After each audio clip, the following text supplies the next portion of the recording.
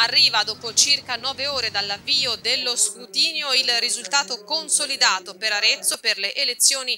amministrative. Si va al ballottaggio. Con una percentuale che si attesta attorno al 47% Alessandro Ghinelli, sindaco uscente e candidato per le forze di centrodestra, dunque non arriva al 50%. L'altro candidato, Luciano Ralli, per le forze di centrosinistra si ferma al 35%. È ballottaggio. Dunque si apre la strada del confronto diretto tra me e Luciano Ralli con i nostri programmi, con le nostre prospettive, io dico anche con un consuntivo di quello che abbiamo fatto e quindi secondo me si apre un confronto positivo per me.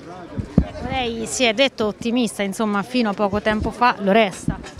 Io sono ottimista e diciamo, il mio ottimismo è stato ripagato perché se si guarda il risultato che ha fatto la coalizione di centro-destra nel 2015 e quello che ha fatto oggi ci sono più di 10 punti, pare 11 punti di, di, di differenza in più a oggi eh, è cresciuta anche la lista civica, quindi io sono contento del risultato, che non è però un risultato vincente. Voi capite che fare il 49,9 o il 51 cambia molto poco in termini di risultato, però è, è, è, opposto per quello che riguarda il fatto di evitare o non il ballottaggio. Non lo abbiamo evitato, avremo altre due settimane di lavoro da fare, di confronti, per me particolarmente gravosi perché ho ancora due settimane da fare il sindaco e quindi da fare tutti gli adempimenti che la mia funzione richiede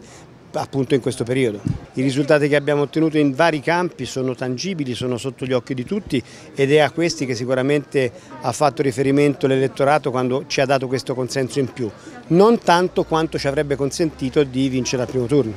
Ecco, non hanno pesato le vicende giudiziarie su questo dato? A mio avviso no. Da questo momento si riparte da 0 a 0, questo vale per Ghinelli e vale anche eh, per me, però ecco, permettetemi di dirvi che sono mesi che stiamo costruendo l'alternativa, la, eh, la necessità per Arezzo di un'alternativa all'amministrazione Ghinelli e oggi si concretizza col fatto che eh, la maggior parte degli aretini che sono andati al voto e 7 aretini su 10 non, sono,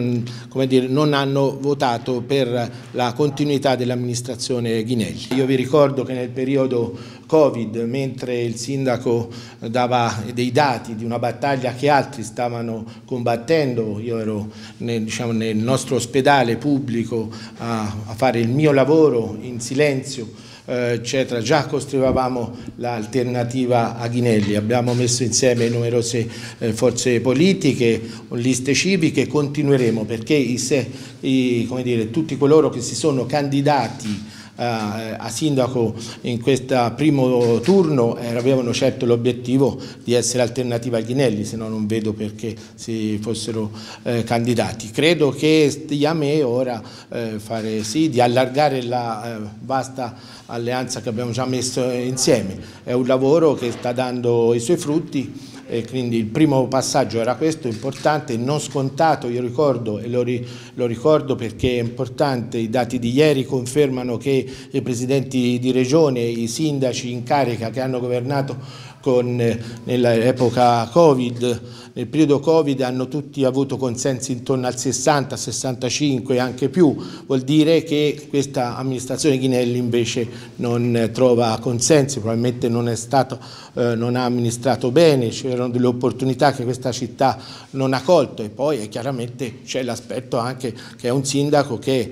è stato, come dire, è ancora indagato da più di un anno, non ha fatto chiarezza rispetto alla sua posizione e si è voluto ricandidare. L'altro candidato che a questo punto potrebbe essere l'ago della bilancia in fase di ballottaggio è Marco Donati che si attesta intorno al 9%. Eh, saliamo al 9%, era un progetto nato in pochi mesi, trova la soddisfazione di aver coinvolto circa 4.000 cittadini, eh, non è mai successo in questo territorio, nel nostro comune, che una lista civica fuori dai partiti tradizionali raccogliesse così tanto consenso, è un primato, ma non ci fermiamo qui, questo è l'inizio di un percorso.